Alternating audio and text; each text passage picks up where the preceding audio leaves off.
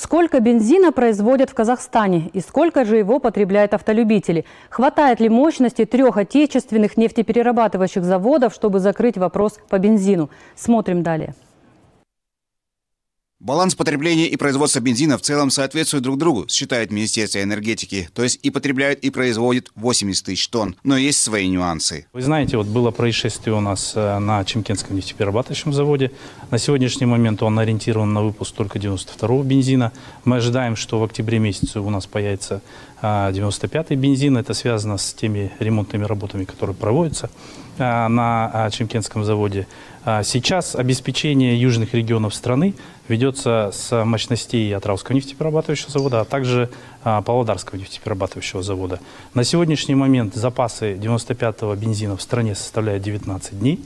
Единственное, это что, ну, вы знаете, географически наша страна девятая в мире, и территория у нас большая, поэтому с запада страны на юг страны транспортировка занимает определенное время. Перебой транспортировкой топлива, особенно АИ-95, из регионов в регионы, связаны с пиковым сезоном потребления, считает вице-министр энергетики. И происходят они в основном в выходные дни. Это связано с тем, что а, выходные дни нефтебазы элементарно просто не работают. То есть нет возможности а, налить бензовозы и доставить э, до автозаправочных станций.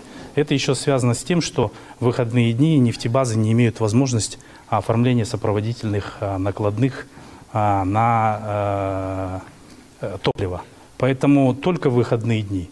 А, еще а, мы наблюдаем, что а, возрос внутренний туризм. Мы видим это по количеству, увеличившемуся количеству машин, которые заправляются в основных э, местах э, отдыха. Это у нас, конечно же, если смотрим Алматинскую область, то это Копчегайское водохранилище, это Балхаш, и это Алаколь. Как заверил Ирлан Аккинджанов, министерство прилагает все усилия, чтобы обеспечить все регионы бензином и АИ-92, и АИ-95. К примеру, из Российской Федерации будет импортироваться 40 тысяч тонн бензина. Контракты соответствующие заключены. А, дочерней организацией нашей национальной нефтегазовой компании «Казунайгаз». И импорт будет осуществлен в августе месяце. А, первый импорт будет в районе 19 тысяч тонн.